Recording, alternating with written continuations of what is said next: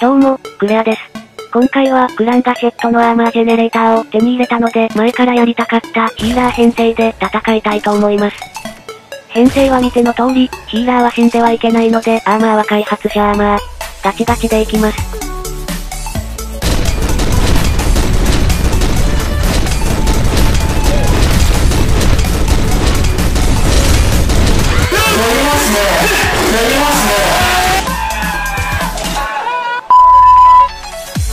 変な編集は置いておいて早速、チーム戦。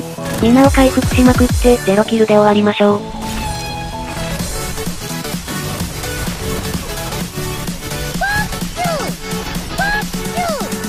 はい、そりゃあ無理ですよね。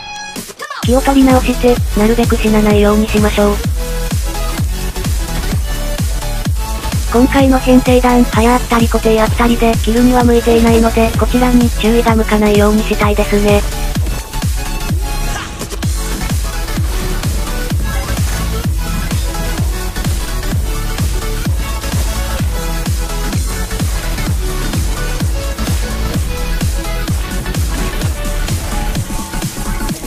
ここで一人勝負を仕掛けてきました。こちらは回復できるので負けるはずないですね。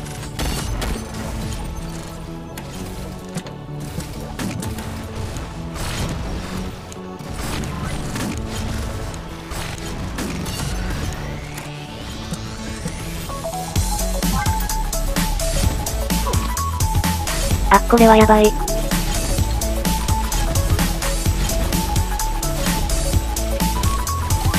しかし回復の方が早かったですね。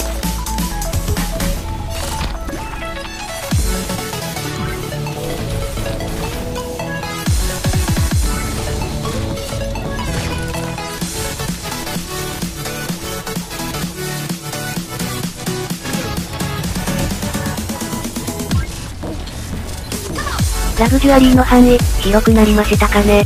上には届くけど、下には届かなかったはず。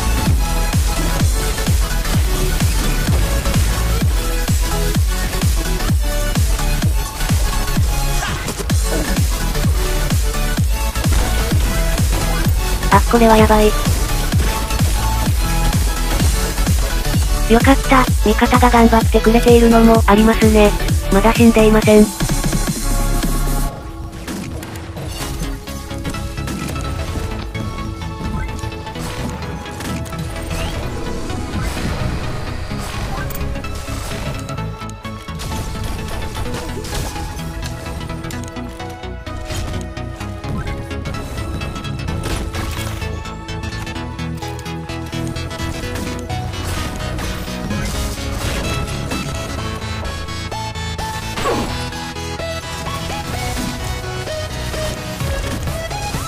残り20秒、絶対生き残る。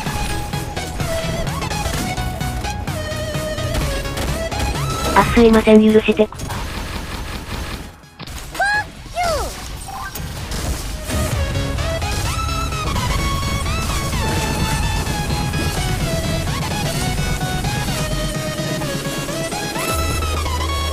ま、まあ、一回しか死んでないので合格ですね。さて2試合目。今度こそ死にません。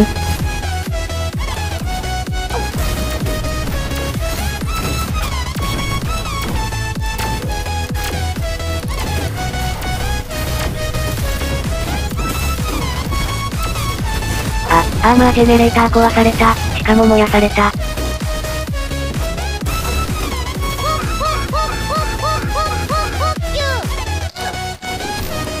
はい、死にました。集中切れると、もうダメですね。